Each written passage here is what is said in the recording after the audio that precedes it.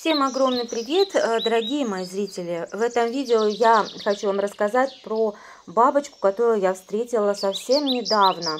Все, конечно же, видят эту бабочку, но, может быть, не все знают, как она называется и как вообще она себя ведет, где обитает. Я вам сейчас немножечко про нее расскажу. Это бабочка-репейница. Она, э, еще по-другому ее называют, чертополоховка. Это дневная бабочка, обитающая повсеместно, кроме Южной Америки. Вот. Ее называют чертополоховка за любовь к колючему растению. Бабочку можно увидеть на лесных полянах, в лугах и садах, по берегам водоемов. Взрослые бабочки прилетают из Африки к началу лета. Не поверите, но это перелетная бабочка.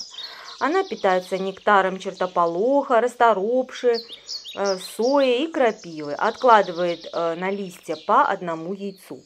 Гусеницы же поедают листья растений. К осени следующее поколение снова полетит зимовать в Африку.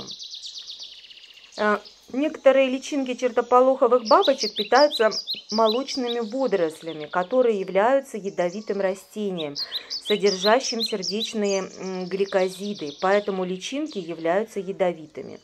Хотя ядовитые, как э, эти бабочки, не будут напрямую влиять на людей, если их не проглотить. Прикосновение к личинкам некоторых чертополоховых бабочек может вызвать, конечно же, сыпь.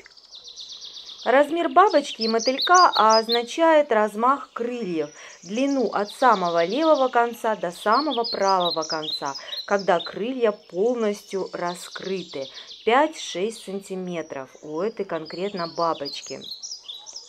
Она э, широко распространена, не является то, э, не встречается только в Южной Америке, э, как я вам уже говорила в начале. На севере Европы доходит до побережий арктических морей. Отдельные особи долетают до Исландии, Шпицберга, Колгуева и других северных островов, однако зимовать может только на юге Европы. На севере бабочки проникают в тундры, но потомство там не оставляют. Бабочки-репеницы очень хорошие летуны. Перед миграцией чертополоховки собираются в большие стаи, порой достигающие численности более тысячи особей.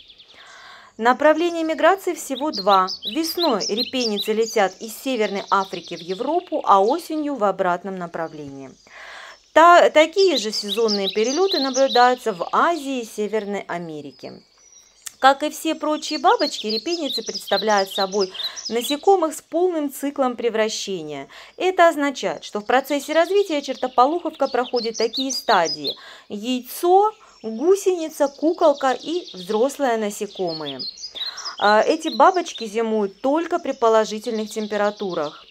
И в южных регионах это происходит. А, и случайно попавшие под влияние отрицательных температур взрослые насекомые неизбежно погибают. Если задуматься о влиянии бабочек-репейниц на окружающую среду, то это воздействие можно признать минимальным. Поражают гусеницы чертополоховки в основном сорные растения, да и то в небольшом объеме. Э, вымерзание целых поколений в некоторых районах приводит к сокращению численности репейниц как вида. Это положение дел заставляет задуматься о защите этих красивых бабочек.